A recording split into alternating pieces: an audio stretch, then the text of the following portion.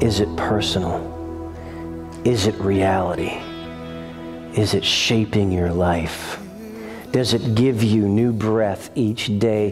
Have you forgotten His mercies are new every morning? Do you carry the weight of yesterday's sin with you into the following day? If you do, it's no wonder you're bowed down. It's no wonder you're tired. It's no wonder you're weary because you've forgotten what God has said. My mercies are new every morning. Why do you think he said that? Because he knows we're a bunch of bums and we need the mercy every morning. Every time the sun rises, my friends, there's sin that it's rising on. And if I didn't have the mercy of God, I might as well be a vampire in the, in the blazing of the sun. He is hope, and it is personal because Jesus is alive.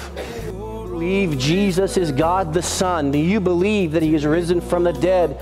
Do you understand that when He died on the cross, that when He died on the cross, it was for your sins and mine? Do you understand that? That He took your punishment, that He took my punishment, and He did it willingly out of love for His creation. If you believe those things, the instruction from the Lord is to cry out to Jesus.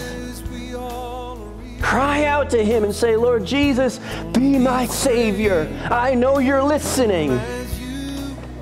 And He will save your eternal soul and breathe new life into your being and give you a living hope. It's always full, and it's never too late to come and be filled.